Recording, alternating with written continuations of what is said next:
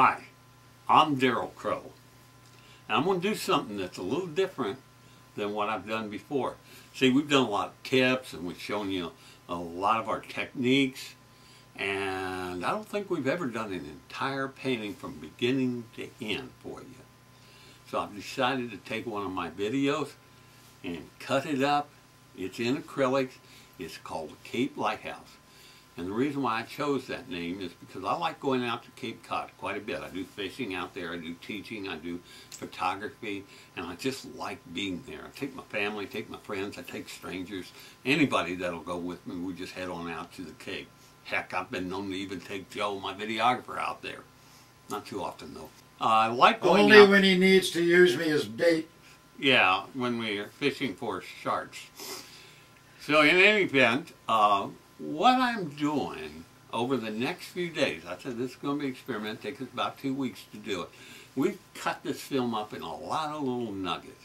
And if you like that, then what we'll do is we'll keep doing it. But you have to let me know if you like it. Now today we'll start painting the skies. Now as you get ready, I have a public warning for you. I really do. I don't want you to be alarmed, but it's necessary that I make this announcement.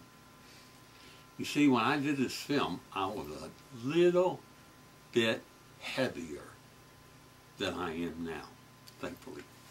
However, you need to be cautious. You may not recognize that, but that truly was me. And if you're suffering from the same kind of problem I did, just give me an email and I'll tell you how I did it. But in any event, I wish you the best, and I know that even if you've never ever picked up a paintbrush before, you've never painted with acrylics before, or with anything, you can do this. We made these instructions so anybody, even an absolute doggone flat out beginner, can paint this. So let's get started and see just how easy it is to give someone else a gift that they'll treasure because you did it. I'm Darrell Crow.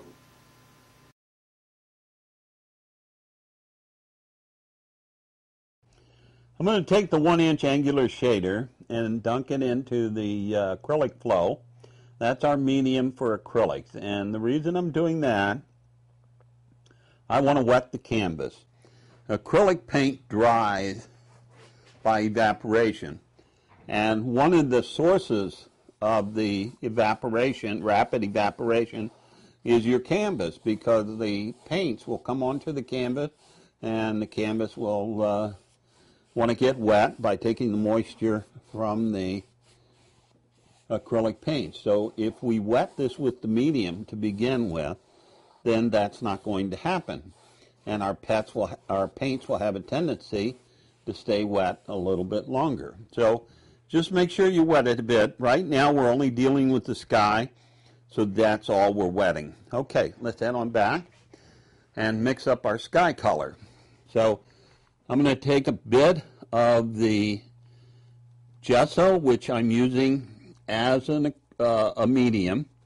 Now, this is an acrylic-based gesso, and it's white, and we're just going to add a little bit of the blue, that's a phthalo blue, and I want a little bit richer color right there at the top. Okay, we're going to divide our sky into three shades. And now let's just take, see I'm just taking the tip of the brush and going right into the brown, okay? And uh, that's just to gray it down a bit. Over at the Cape, you'll find that the blues are not so brilliant, but they have a little uh, uh, brown tint to it or a gray tint. And uh, there you go, that's looking nice. Let's take just a touch of purple. Put that right in there. How about two touches? There we.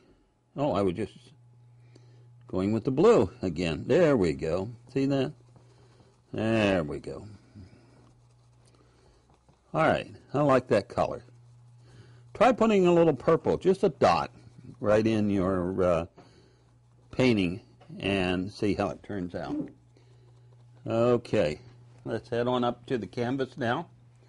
And I'm going to be using the X stroke right in there, just like that. See that? And I just want to go right across the top.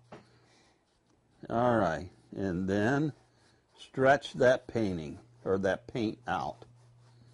See, stretch it out, stretch it out, stretch it out. Yeah, there we go. Now, let's take a little bit of the gesso and we'll now start to mix that into the center. And see how that's giving you a slightly different shade as you come down? Now that's important because to show depth in your sky, you need to have two or three different colors. And the reason is the color right ahead of you or over your head will be a lot darker than, say, at the horizon. And the reason for that is quite simple. Is as you look into the distance, you're going to be looking through more and more water molecules. So you want to be able to see that differentiation. Okay, I think we could use it just a slight bit lighter. So we'll just go ahead, get a little more of the gesso right in there, mix it in, and there we go.